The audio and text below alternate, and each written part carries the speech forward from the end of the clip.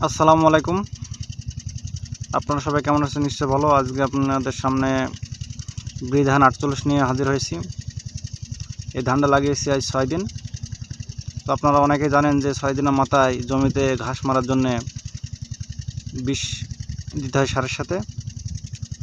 তো আপনারা যারা আউশ ধান লাগিয়েছেন বা লাগাবেন, তো কোন ধরনের বিষটা ব্যবহার করে দেখাচ্ছে? আপনাদের জমিতে আগাছা জন্ম নেবে না। সেই পরিপ্রেক্ষিতে আমি একটা বিষ নিয়ে হাজির হয়েছি। আর আমার চ্যানেলে ভিডিওটা যদি ভালো লাগে থাকে, অবশ্যই চ্যানেলটি সাবস্ক্রাইব করবেন আর ভিডিওটা সম্পূর্ণ দেখবেন। তার আগে কিছু কথা আপনাদের বলে নিই। ওই বিষটা ব্যবহার করতে হলে আপনারা জমিতে একটু পানি বেশি করে রাখবেন। বেশি করে পানি দেবেন এর আগের আগেবার চাইতে। তারপর ইউরিয়া সার নেবেন। আপনার জমি যদি এক বিঘা হয়, যেহেতু আমার এখানে এক বিঘা ধান আছে, আমি পাঁচ কেজি ইউরিয়া নিয়ে এসেছি। এবং একশো গ্রামের একটা শিলা নিয়ে এসেছি।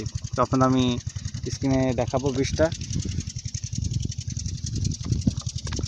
তো আপনার এটা দেখতে পাচ্ছেন শিলা একশো এম এল। এটা হচ্ছে আপনার ইনতেফা কোম্পানির। এটা হচ্ছে ইনতেফা কোম্পানির। এটার দাম হচ্ছে একশো পনেরো টাকা। এটা পাঁচ কেজি ইউরিয়া সারের সাথে ভালোভাবে মিক্স করে আপনারা ই করবেন, ওই ধানের ভুঁই ছিটিয়ে দেবেন। তো আর ছেটানোর আগে একটা কথা বলে রাখি, পানি ভালো রাখবেন, পানি বেশি করে রাখবেন।